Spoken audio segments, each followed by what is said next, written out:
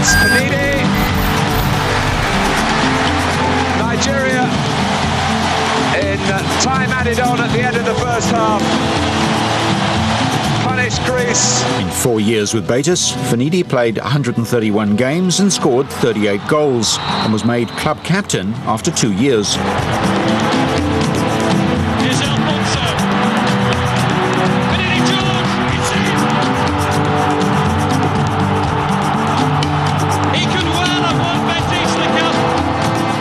When Betis was relegated in 2000, George transferred to Real Mallorca for £2.5 million. He scored several important goals, helping Mallorca qualify for the Champions League before he was again on the move. English Premier League club Ipswich Town came calling, and after a drawn out transfer worth £3 million, he joined the Tractor Boys for the 2001 2002 campaign, scoring two goals in his first game. It turned out to be a false dawn, however. The season ended in relegation from the Premiership, a huge drop from a fifth place the previous year. It was a miserable season for Finidi too, hampered by a fractured cheekbone earlier in the season. By the time he regained form, Ipswich sat bottom of the table, and after a mid-season revival, George was off to Mali for the African Cup of Nations.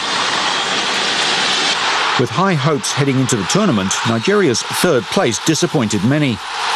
And along with the infighting that plagued Nigerian football for many years, the entire coaching staff was sacked.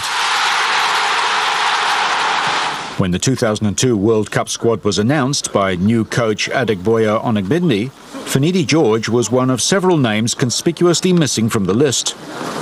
There was never a solid reason given for his omission, and Nigeria sorely missed him at the finals.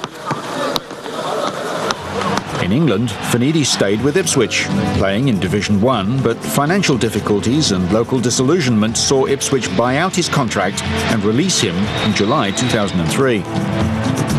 Having not played for nearly six months, George's career was thrown a lifeline when Real Mallorca coach Luis Aragones invited him for a trial with his former club. But season 2003-04 was not successful. Finidi played sparingly for the relegation-threatened Mallorca, and he announced his retirement from club football at season's end. New Nigerian coach Christian Chukwu then recalled Finidi and Sunday Oliseh to the national team, but the call-up amounted to nothing, and the sun set on the Gazelles' career. The football world is poorer without the sight of Finidi George in full flight, hurtling down the right wing, or the dazzling strikes that won the hearts of all who saw him play.